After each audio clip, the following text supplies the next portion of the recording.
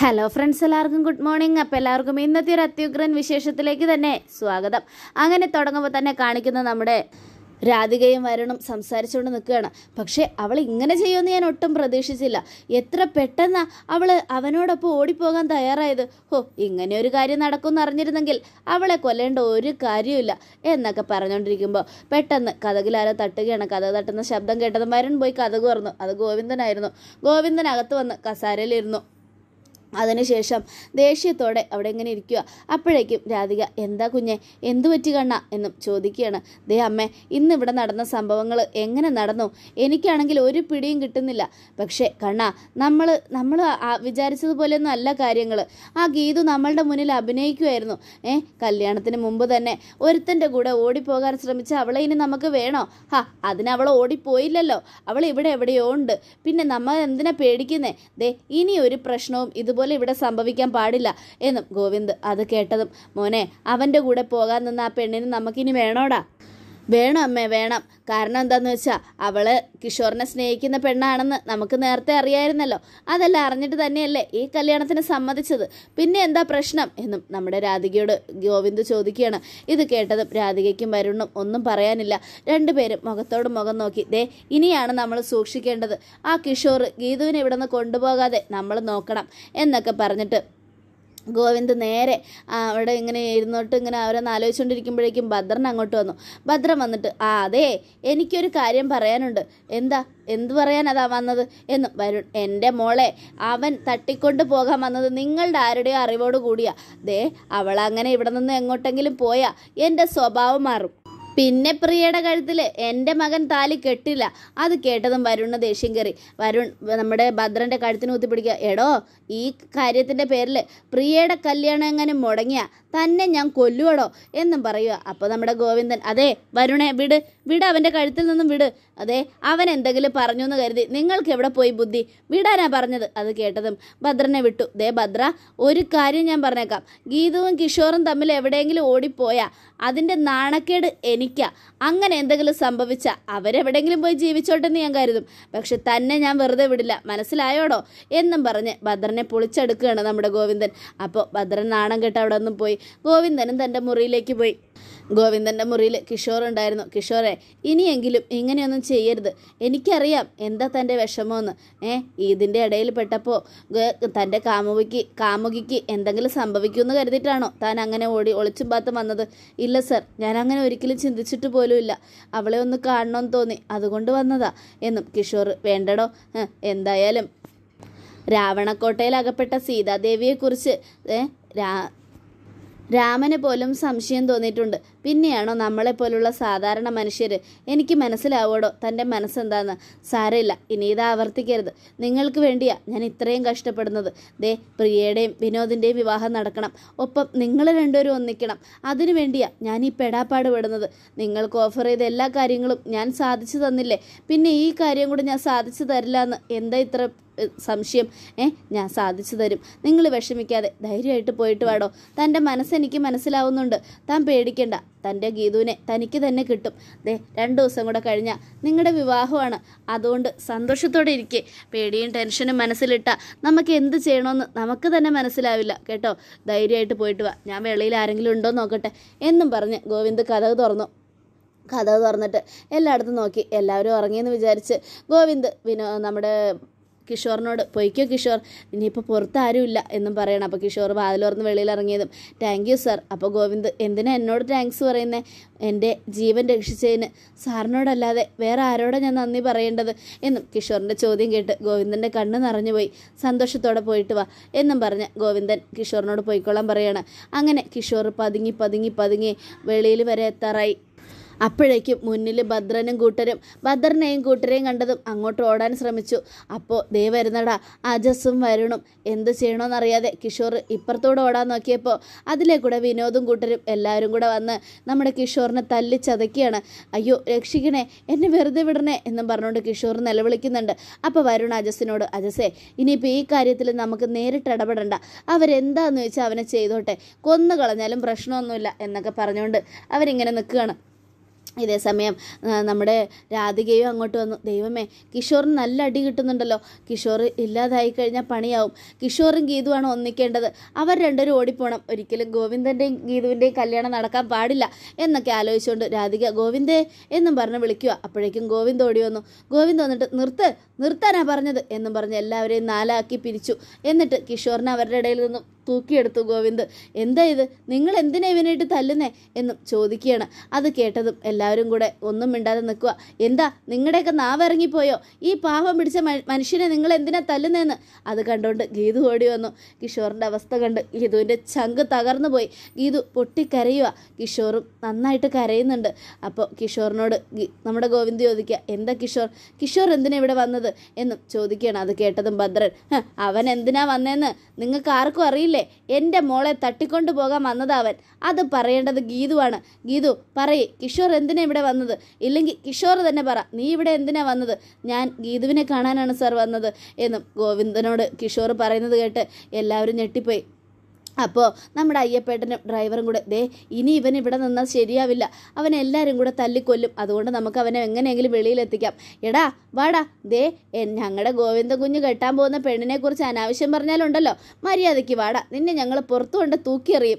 എന്നും പറഞ്ഞ് അയ്യപ്പൻ വലിച്ചുകൊണ്ട് പോവാ. അപ്പോഴേക്കും ഗോവിന്ദ് ഏ അയ്യപ്പേട്ട വേണ്ട വിട് വിട്ടേക്ക്. കിഷോറിനെ വിട്. ഞാൻ ചോദിക്കാം അവനോട് എന്താ സംഭവിച്ചതെന്ന് എന്താ സത്യാവസ്ഥയെന്ന് ആ അപ്പം അയ്യപ്പൻ കിഷോറിന്റെ കൈവിട്ടു പറ കിഷോർ നീ എന്തിനാ ഗീതുവിനെ കാണാൻ വന്നത്? ഏ എന്തിനു വേണ്ടിയാണ്? പറ. അത് ഞങ്ങൾ ഞങ്ങൾ നല്ല ഫ്രണ്ട്സാണ് സാർ ഫ്രണ്ട്ഷിപ്പ് അല്ലാതെ മറ്റൊരു ബന്ധം ഞങ്ങൾക്കിടയിലില്ല. ഞങ്ങൾ രണ്ടുപേരും പരസ്പരം മനസ്സിലാക്കി ഞങ്ങളുടെ ഫ്രണ്ട്ഷിപ്പ് മുന്നോട്ട് നിലനിർത്തി കൊണ്ടുപോകുന്നവരാ. അതിനെ തെറ്റായി കണ്ട പലരും ഇതിനിടയിലുണ്ട്. എനിക്ക് നാളെ ഒരു ജോലിക്ക് പോകണം എനിക്കൊരു ജോലി ശരിയായിട്ടുണ്ട്. ബാംഗ്ലൂരാ. അവിടേക്ക് പോകാൻ വേണ്ടി പോകുവാണെന്ന് ഗീതുവിനോട് പറയാൻ ഞാൻ കുറേ നേരമായി ഫോൺ വിളിക്കുന്നു. അവളുടെ കോൾ കിട്ടാത്തതുകൊണ്ട് എനിക്ക് രാവിലെ പോകേണ്ടതുകൊണ്ട് അതുകൊണ്ട് അത് പറയാനായിട്ടാണ് ഞാൻ ഇങ്ങോട്ട് വന്നത്. അപ്പോഴാണ് എല്ലാവരും കൂടെ എന്നെ അത് കേട്ടതും. നമ്മുടെ ഗീതുവിനോട് ഗോവിന്ദ് ചോദിക്കുക പറ ഗീതു ഇതൊക്കെ സത്യമാണോ? അതെ സർ സത്യമാണ്. കിഷോർ എന്റെ നല്ല ഫ്രണ്ട് മാത്രമാണ് എന്നും ഗീതു ചങ്കു പൊട്ടി കരഞ്ഞുകൊണ്ട് പറയുക അതെ എല്ലാവരുടെ ഇടയിൽ നിന്നും കിഷോറിനെ രക്ഷിക്കാതെ വേറെ വഴിയില്ലല്ലോ. അപ്പോൾ ഗോവിന്ദൻ തന്റെ തനി സ്വരൂപം പുറത്തെടുത്തു. കേട്ടല്ലോ? എല്ലാവരും കേട്ടല്ലോ? ഗീതുവും കിഷോറും നല്ല ഫ്രണ്ട്സുകൾ മാത്രമാണ്. അതിനെ തെറ്റായി കണ്ടതാണ് നിങ്ങൾ ചെയ്ത നിങ്ങൾ ചെയ്ത തെറ്റ്. ആ പാവത്തിനെ തല്ലി ചതച്ചപ്പോൾ നിങ്ങൾക്ക് സമാധാനമായല്ലോ? ആ പാവം യാത്ര പറയാൻ വന്നതാ. തന്റെ ഫ്രണ്ടിനോട് അതുപോലും മനസ്സിലാക്കാതെ എടുത്തിട്ട് തല്ലി ചതച്ചിരിക്കുന്നു. നാണോ മാനോ ഇല്ലല്ലോ എന്നൊക്കെ പറഞ്ഞ് ഗോവിന്ദൻ ഭദ്രനെയും വിനോദിനെയും പിന്നെ നമ്മുടെ വരുണിനെയും ഒക്കെ വഴക്ക് പറയണം ഇതെല്ലാം കേട്ടപ്പോൾ എല്ലാവരും ശരി ശരി അതൊക്കെ ആയിക്കോട്ടെ. വാ കിഷോറെ എന്തായാലും കിഷോർ പോയിക്കോ. ഏ അല്ലെങ്കിൽ വേണ്ട. കിഷോർ ഇവിടെ നിൽക്ക് നിങ്ങളെല്ലാവരും പോ. മര്യാദയ്ക്ക് മുറിയിലേക്ക് പോ. അപ്പോൾ ഗീതു അവിടെ നിന്നു. ഗീതു കരഞ്ഞുകൊണ്ട് തന്നെ കിഷോറിനെ നോക്കുക. അപ്പോൾ ഭദ്രൻ വാ മോളെ നീ ഇവിടെ നിൽക്കണ്ട ഇവിടെ നിന്ന് കഴിഞ്ഞാൽ നിന്റെ മനസ്സിവം മാറ്റിയെടുക്കും. എന്നും പറഞ്ഞ് ഗീതുവിനെ വലിക്കുക. അപ്പോൾ ഗീതു ഗോവിന്ദന്റെ മുഖത്തേക്ക് നോക്കി. ഗോവിന്ദൻ കണ്ണടച്ച് കാണിച്ചു. പോ കിഷോറിനെ ഞാൻ നോക്കിക്കോളാം എന്നും പറയുകയാണ് ഗീതു. സമാധാനത്തോടെ ഭദ്രനോടൊപ്പം അങ്ങോട്ട് പോയി. അപ്പോൾ നമ്മുടെ അയ്യപ്പേട്ടൻ വാ മോനെ ഞങ്ങൾ നിന്നെ ആക്കിത്തരാം. ഏയ് വേണ്ട അയ്യപ്പേട്ട കിഷോറിനെ ഞാൻ ഡ്രോപ്പ് ചെയ്തോളാം. കിഷോർ താമസിക്കുന്നിടത്ത് കിഷോറിനെ ഞാൻ കൊണ്ട് വിട്ടോളാം. നിങ്ങൾ പോയി കിടന്നോ എന്ന് അയ്യപ്പനോടും ഡ്രൈവറോടും പറയുകയാണ് അങ്ങനെ അവരും പോയി. അവർ പോയി കഴിഞ്ഞതും ഗോവിന്ദ് ആ, നമ്മുടെ കിഷോർ ഭയങ്കര കരച്ചില. എന്തിനാ കരയണേ? സോറി ഗോവിന്ദ് സർ ഞാൻ കാരണം സാറിന് നാണക്കേടായല്ലേ? ഏയ് സാരില്ല താൻ വന്നത് എന്തിനാ തന്റെ കാമുകിയെ കാണാൻ അതൊരു തെറ്റല്ലടോ. എന്തായാലും താൻ ഇവിടെ വന്നതല്ലേ. ദേ തന്നെ രക്ഷിക്കേണ്ടത് എന്റെ എന്റെ ആവശ്യമാണ് എന്നൊക്കെ പറഞ്ഞ് ഗോവിന്ദൻ കിഷോറിനെ ആശ്വസിപ്പിക്കുക. എന്നാൽ പിന്നെ ഞാൻ ഇറങ്ങുക സർ എന്നും പറഞ്ഞ് കിഷോർ പോകാനൊരുങ്ങി. എവിടെ പോവുക താൻ? ഞാൻ പോവുക സർ വീട്ടിലേക്ക് പോവുക ആ നാളെ ഞങ്ങൾ ഒരുമിക്കുമ്പോൾ കാണാമല്ലോ എന്നൊക്കെ പറഞ്ഞിട്ട് കിഷോർ ഭയങ്കര സങ്കടപ്പെട്ട് തിരിഞ്ഞു. അപ്പോൾ കിഷോറിനെ അവിടെ തടുത്ത് നിർത്തി ഗോവിന്ദ് നിൽക്ക് കിഷോർ താൻ ഇവിടെ വന്നത് എന്തിനാ തന്റെ പെണ്ണിനെ കാണാൻ. ഇനിയിപ്പോൾ താൻ ഇവിടെ നിന്ന് പോകുമ്പോൾ അവളെയും കൊണ്ട് പോയാൽ മതി. അതുവരെ താൻ ഇവിടെ ഉണ്ടാവും എന്നും ഗോവിന്ദ് കിഷോറിന് വാക്ക് കൊടുക്കുകയാണ്. അത് കേട്ടതും കിഷോർ തന്റെ കണ്ണുകളെ വിശ്വസിക്കാൻ പറ്റിയില്ല. ഗോവിന്ദനെ നോക്കുക അതേടോ നിങ്ങൾ രണ്ടുപേരും ഇനി ഇവിടെ നിന്ന് ഒരുമിച്ച് പോയാൽ മതി. ഞാനുണ്ടാവും നിങ്ങളുടെ കൂടെ താൻ അവിടെയും. അവൾ ഇവിടെയുമായിട്ട് വിഷമിച്ചിരിക്കുന്നതിനേക്കാൾ നല്ലത്. നിങ്ങൾ രണ്ടുപേരും ഒരു സ്ഥലത്തുണ്ടാവുന്നതാണ്. എന്തായാലും നിങ്ങളുടെ വിഷമവും സ്നേഹവും എനിക്ക് മനസ്സിലാവും. എനിക്കും ഉണ്ടൊരനിയത്തി. അവളുടെ സ്നേഹം മനസ്സിലാക്കിയതുകൊണ്ടല്ലേ ഈ വിവാഹം നടത്താൻ ഞാൻ സമ്മതിച്ചത്. അതുപോലെ ദേ നിങ്ങളുടെ രണ്ടുപേരുടെയും വിവാഹം നടത്തുക എന്നുള്ളതാണ് ഇനി എന്റെ അടുത്ത ലക്ഷ്യം എന്നൊക്കെ പറഞ്ഞ് ഗോവിന്ദൻ കിഷോറിനെയും ചേർത്ത് പിടിച്ച് അകത്തേക്ക് പോവുകയാണ്. ഗോവിന്ദന്റെ നല്ല മനസ്സ് കണ്ട് കിഷോറിന്റെ ചങ്ക് തകർന്നു പോയി. പിന്നീട് കാണിക്കുന്നത് രാധികയെയും സുവർണയെയും വരുണിനെയും അജസ്സിനെയുമാണ് അവർ നാലുപേരും കൂടെ സംസാരിച്ചുകൊണ്ട് നിൽക്കുക ഹാ എന്തൊക്കെയായാലും ഇതിനിടയിൽ കിഷോർ വന്നത് ഭയങ്കര ട്വിസ്റ്റായിപ്പോയി അല്ലേ മാഡം? അതെ അതെ എനിക്കും വിശ്വസിക്കാൻ കഴിഞ്ഞില്ല. പിന്നെ കിഷോറുമായിട്ട് ഒരു ബന്ധവും ഇല്ലയെന്ന് ഗീത് പറഞ്ഞെങ്കിലും അതിൽ എന്തൊക്കെയോ കള്ളക്കളികളുണ്ട്. ഇന്നിപ്പോൾ കിഷോർ ഇവിടെ വന്നത് ഒരു സൂചനയാണ് മാഡം. കാരണം നാളെ വിവാഹം നടക്കുന്ന സമയത്തും കിഷോർ ഇവിടെ എത്താൻ സാധ്യതയുണ്ട്. അങ്ങനെ അവർ രണ്ടുപേരും മിസ്സിംഗ് ആയ നമുക്ക് ലാഭം. പക്ഷേ അതിനിടയിൽ നമ്മൾ അവളെ എന്തെങ്കിലും ചെയ്താൽ പോലീസ് അന്വേഷിക്കും. ഗീതു എവിടെ പോയെന്നറിയാതെ ഗോവിന്ദ് കേസ് കൊടുക്കും. അങ്ങനെ കൊടുത്താൽ അത് കേസാവും. പിന്നെ അന്വേഷണം എന്നിലെത്തും സുവർണയിലെത്തും പിന്നെ അതിലൂടെ മേഡത്തിലേക്കെത്തും അതിനേക്കാൾ നല്ല എളുപ്പ വഴിയല്ലേ കിഷോർ വന്നതും കിഷോർ ഗീതുവിനെ തട്ടിക്കൊണ്ടു പോകാൻ ശ്രമിച്ചതും. നമുക്കവളെ തട്ടിക്കൊണ്ടുപോയി കടത്തിക്കളഞ്ഞതിന് ശേഷം കിഷോറിന്റെ തലയിൽ ആ കഥകൾ ചുമ ഇട്ടുകൊടുത്താൽ മതിയല്ലോ. കുറ്റം ചുമത്തിയാൽ മതിയല്ലോ ഇത് കേട്ടതും. പക്ഷേ അതെങ്ങനെ ശരിയാവും? നമ്മൾ ഒരാളെ മാത്രമല്ല കിഡ്നാപ്പ് ചെയ്യുന്നുള്ളൂ. അതിനിടയിൽ കിഷോർ തിരിച്ചു വന്ന എന്ത് ചെയ്യും? അതല്ലേ മാഡം ട്വിസ്റ്റ്. കിഷോർ തിരിച്ചു വരുന്നത് നമുക്ക് പിന്നീട് നോക്കാം. നമ്മൾ പോലീസുകാരോട് പറയും കിഷോറും ഗീതുവും ഒളിച്ചോടിപ്പോയി. അവരെവിടെയോ സുഖമായി ജീവിക്കുന്നു. പക്ഷെ ഗീതു ഇന്ന് ജീവനോടെ ഇല്ലാന്ന് പോലീസുകാർക്കുണ്ടോ അറിയുന്നു? കിഷോറുമായിട്ട് അവൾ ഓടിപ്പോയി. അത്രയും അത്രയല്ലേ ഉള്ളൂ എന്നൊക്കെ അജസ് പറയാണ്. പക്ഷേ ഇതൊക്കെ പറയാൻ എളുപ്പമാണ്. എന്നാലും ഇതൊക്കെ നടക്കുമോ എന്നെനിക്ക് പേടിയാവുന്നു. ഗോവിന്ദൻ കിഷോറും ഗീതവും കൂടെ കണ്ടത് സംസാരിച്ചതൊക്കെ ആകെ ദേഷ്യപ്പെട്ടിരിക്കുക പക്ഷെ എന്നാലും അവൻ ഗീതവുമായിട്ടുള്ള വിവാഹം നടക്കുമെന്നും പറഞ്ഞുള്ള വാശിയിലാണ് അവരുടെ വിവാഹം നടക്കാൻ പാടില്ല. ഒരു ചെറുക്കന്റെ കൂടെ ഓടിപ്പോയ പെണ്ണിനെ വീണ്ടും കല്യാണം കഴിക്കാൻ തയ്യാറായി നടക്കുക ഗോവിന്ദ്. അതുകൊണ്ടാണ് ഞാൻ പറയുന്നത് ഈ വിവാഹം നടക്കുന്നതിന് മുമ്പ് അവളെ തട്ടിക്കൊണ്ടു പോകണമെന്ന് ഇതെല്ലാം കേട്ടപ്പോൾ അജസും സുവർണയും സംസാരിക്കുകയാണ്. മാഡം വിഷമിക്കേണ്ട ധൈര്യമായിട്ടിരിക്കെ. ഒന്നെങ്കിൽ ഗീതുവും കിഷോറും ഓടും. ഇല്ലെങ്കിൽ ഗീതുവിനെ തട്ടിക്കൊണ്ടുപോയി എവിടെയെങ്കിലും കൊണ്ടുപോയി കൊല്ലും. അല്ലെങ്കിൽ അവളെ ബീഹാറിലെ ഏതെങ്കിലും മെന്റൽ ഹോസ്പിറ്റലിൽ എത്തിക്കും ഇത് മൂന്നുമാണ് നമ്മുടെ ലക്ഷ്യം. മാഡവും ഞാനും സുവർണയുമൊക്കെ ഈസി ആയിട്ട് രക്ഷപ്പെടും. അല്ലെങ്കിൽ പ്രശ്നം നമ്മൾക്ക് നേരെ എത്തും മേഡം. അതുകൊണ്ടാണ് ഇങ്ങനെയൊക്കെ പറയുന്നത്. ഇന്ന് ഗോവിന്ദ് സാറ് കിഷോറിനെ നമ്മൾക്കിടയിൽ നിന്നും രക്ഷിച്ചു. ഗീതുവിന് വേണ്ടിയാണ് ഗോവിന്ദ് സാർ അത് ചെയ്തത്. എനിക്കും സംശയമുണ്ട്. കിഷോർ നമ്മുടെ ആ ഒരു കോമ്പൗണ്ടിൽ എത്തിയിട്ടുണ്ടെങ്കിൽ അതിനു വേണ്ടി അവനെ ആരോ സഹായിച്ചിട്ടുണ്ടാവണം. അതാരായിരിക്കും മേഡം എന്നൊക്കെ ചോദിക്കുകയാണ് അജസ് ഇത് കേട്ടത്. അതെ അജസ് അത് തന്നെയാണ് എന്റെ സംശയം. ആ കോമ്പൗണ്ടിനകത്ത് കിഷോർ എത്തുന്നുണ്ടെങ്കിൽ അതിന്റെ പിന്നിൽ ആരോ ഉണ്ട്. കിഷോറിനെ അവിടെ എത്തിച്ച് ഗീതുവിനെ കടത്തിക്കൊണ്ട് പോകാനുള്ള ശ്രമം അത് വലുതായിരുന്നു. എന്നൊക്കെ നമ്മുടെ രാധികയും അജസും രണ്ടുപേരും സംസാരിച്ചുകൊണ്ട് നിൽക്കുക ഇത് കേട്ടതും. എനിക്ക് അതൊന്നും അറിയണ്ട. എങ്ങനെയെങ്കിലും ഗോവിന്ദേട്ടന്റെ കല്യാണം മുടങ്ങണം. ആ ഗീതുവുമായിട്ടുള്ള വിവാഹം നടക്കാൻ പാടില്ല. അതല്ലാതെ വേറൊരു വഴിയില്ല. അത് മുടക്കാനാണല്ലോ ഞങ്ങൾ എന്നും അജസ് അപ്പോഴേക്കും പിന്നീട് കാണിക്കുന്ന നമ്മുടെ ഭദ്രനെയാണ്. അവിടെ നിന്ന് മൂക്കറ്റം കുടിച്ചു.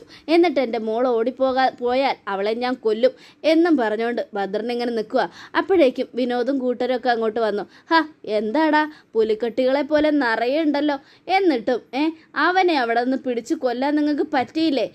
ആ കിഷോർ ഈ കോമ്പൗണ്ട് കടന്ന് വന്നപ്പോൾ നിങ്ങളൊക്കെ എവിടെ പോയി കിടക്കുമായിരുന്നടാ എന്റെ മോളെ എങ്ങാനും അവൻ തട്ടിക്കൊണ്ട് പോയിരുന്നെങ്കിൽ ഞാൻ എന്ത് ചെയ്തന്നെ? നിന്നെയൊക്കെ വിശ്വസിച്ച് കൂടെ നിർത്തി എന്നെ പറഞ്ഞാൽ മതിയല്ലോ. അണ്ണാ അങ്ങനെയൊന്നും അല്ലണ്ണ. അണ്ണനോ? ഏതണ്ണൻ? മര്യാദയ്ക്ക് ഇവിടെ നിന്ന് പോയിക്കൊള്ളാം അവന്റെ ഒരു അണ്ണൻ. എന്നെ അണ്ണാന്നെങ്ങനെ വിളിച്ചാലുണ്ടല്ലോ. എന്റെ സ്വഭാവം മാറും. അപ്പോൾ വിനോദ് അച്ഛാ അച്ഛൻ ഇവിടെ നിന്ന് പോ. അവളുടെ കാര്യം ഞങ്ങൾ നോക്കിക്കോളാം. അവൻ ഇനി ഇങ്ങോട്ട് വരില്ല. ആ കിഷോറിനെ എന്താ ചെയ്യേണ്ടതെന്ന് എനിക്ക് നന്നായിട്ട് അറിയാം വിവാഹം നടക്കുന്നവരെ കിഷോറിന്റെ പുറകിലൊരു കണ്ണുണ്ടാവും.